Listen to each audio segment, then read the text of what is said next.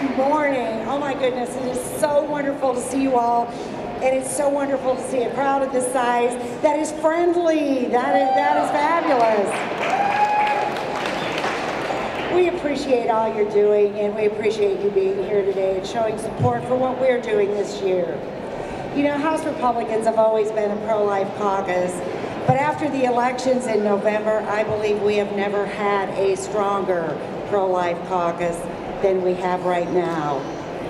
We've done many things in the past that protect the lives of the unborn, but they were stopped in the Senate. Well, things have changed.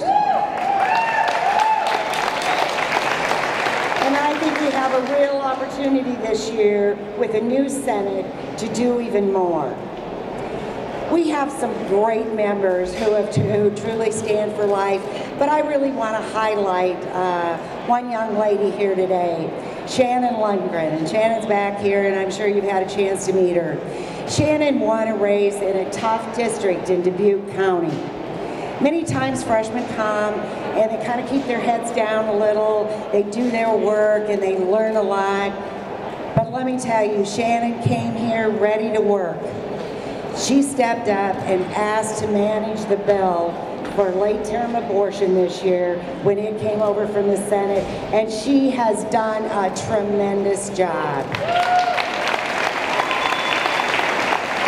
Last night, last night Shannon got the bill out of committee, the 20-week bill out of committee, and got it to the House floor. So Shannon, thank you. She has worked tirelessly to advance life. Don't be tearful or I will. And she is not finished. I know there are some that hope for more. There are many that wanted to have a home run, even if it faced a roadblock in court. And there are many that wanted to have an incremental step that saved babies immediately. I understand both sides. But we should not forget that this is the most pro-life piece of legislation that will get to the governor's desk in this state's history.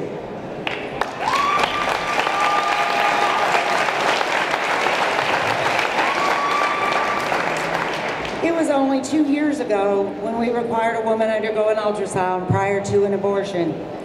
That was the most pro-life thing we'd actually passed into law in nearly two decades. We know that, what, that it would make a real difference and save babies. Women saw a baby. They did not see an abstract group of cells. I know all of us here today are passionate about this issue, and that's why we need you to be in touch with everyone in this building and let them know to keep fighting.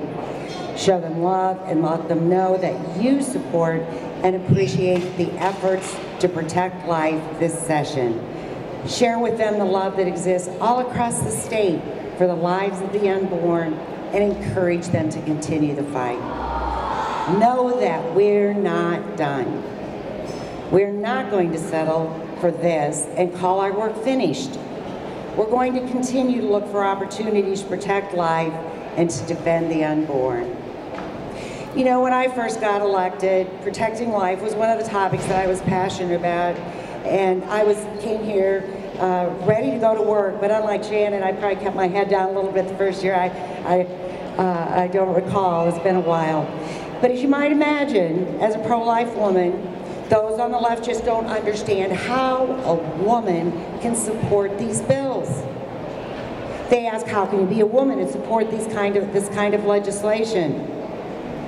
Well, I ask, how can you be a woman and not support life?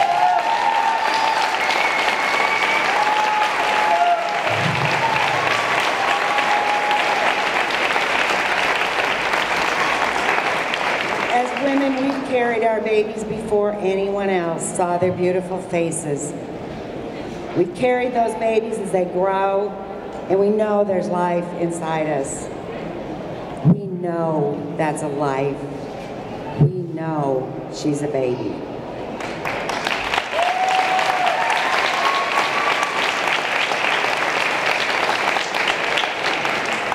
So in closing today, I want to thank you again for everyone being here. I want to thank you for all the work you do across the state to advance pro-life causes. I want to thank Senator Dix, who has an equally pro-life caucus and is a wonderful partner in le- passing legislation. And finally, I want to thank both Governor Branstad and Lieutenant Governor Reynolds for their efforts over the last few years.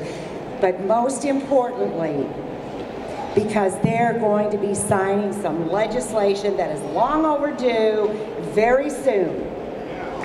So thank you.